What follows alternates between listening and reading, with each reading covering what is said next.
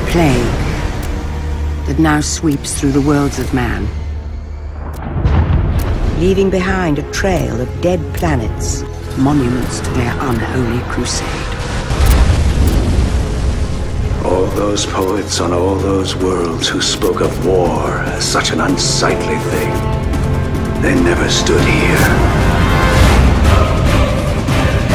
It is a heavy weight you carry, human. Epochs of history, tides of war, the blood of nations.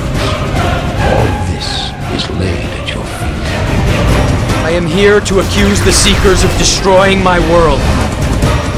Who is this man?